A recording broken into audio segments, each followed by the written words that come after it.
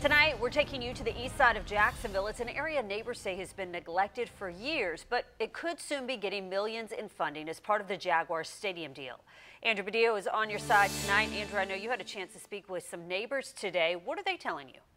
Heather, neighbors I spoke with say they're desperate for help. This Thursday, City Council will vote on an amendment that would potentially carve out $96 million of city money from the stadium deal and be voted on separately. That money would include improving the east side. And neighbors just don't want the project rushed down the road and forgotten. Tucked back on Jacksonville's east side is Van Buren Street. In this home, a fan is working overtime.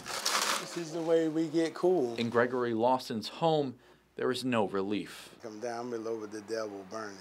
it's really hot. Lawson is disabled, has hypertension and diabetes and is on a fixed income. I did a lot of repairs, but I can't do them all. Not on what they give me. Lawson inherited the home from his mother and needs help restoring it.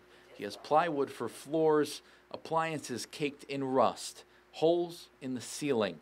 He spends most of his days in this chair. I cook here. It's a hot place. I have to cook here because everything in the house was very old. Lawson needs help help he says is long overdue. I've been promised things, you know, it hasn't surfaced. Lawson hopes he will soon be getting help and be included in future improvements as part of the Jaguar Stadium deal.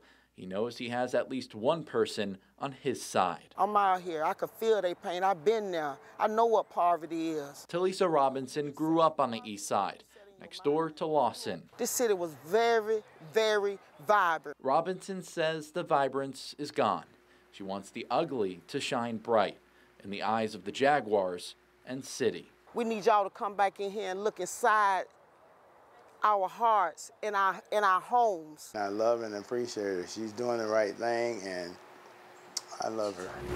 On Van Buren Street, armed with a fan and ice, Lawson says 94 million could bring long-awaited relief. My house is in a shambles, the whole block is in a shambles, and we would really appreciate them to come and fix our homes.